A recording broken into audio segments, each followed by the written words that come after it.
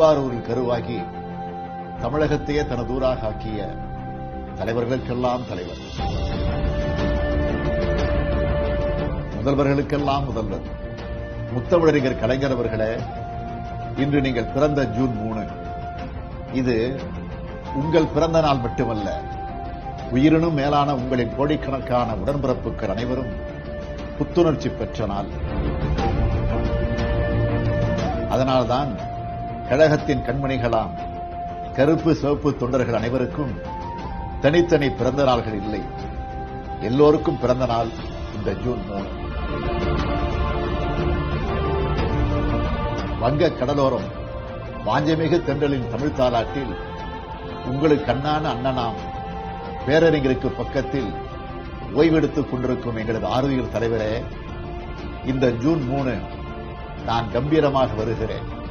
உங்களுக்கு கொடுத்த வாக்குறுதியை நிறைவேற்றிவிட்டேன் என்று சொல்ல தலைநிமிர்ந்து வருகிறேன். ஈரோட்டில் அன்றொரு நாள் நான் ஏற்றுக்கொண்ட உறுதிமொழியை உடன்பிறப்புகளின் துணையோடு நிறைவேற்றி காட்டிவிட்டேன் என்பதை நெஞ்சை நிமிர்த்தி சொல்ல வருகிறேன். தலைவருக்கு கொடுத்த வாக்குறுதியை ஒரு தொண்டை நிறைவேற்றி காட்ட வேண்டும் என்பதற்காகவே உழைத்தேன். நீங்கள் மறையவில்லை. மறைந்திருந்து என்னை கவனிப்பதாகத்தான் எப்போதும் நினைப்பேன். இப்போதும் கவனித்துக் கொண்டுதான் இருப்பீர்கள். கோட்டையை கைப்பற்றி அடுத்த நாளே கொரோனாவை விரட்ட போராடிக் கொண்டிருக்கிறோம்.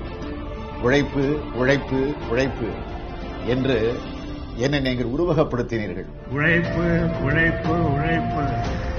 அதுக்கு பேர் தான் சாதி அதற்கு உண்மையாக இருக்கவே உழைத்துக் கொண்டிருக்கிறேன். அன்று ஒரு நாள் விழுப்புரத்தில் சொன்னீர்கள்.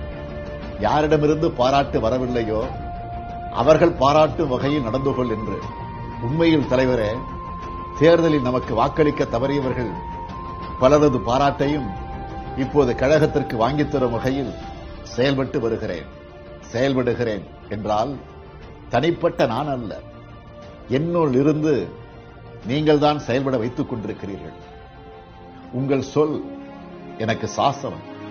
உங்கள் வாழ்க்கை எனக்கு பாடம் உங்கள் பாராட்டே எனக்கு உயிர் விசை. உங்கள் குரலே எனக்கு தேனிசை உங்களது வார்ப்பான நான் இந்த ஜூன் மூணு உங்களை வெற்றி செய்தியோடு சந்திக்க வருகிறேன். வாழ்த்துக்கள் ஸ்டாலின் என்று சொல்வீர்களா தலைவரே?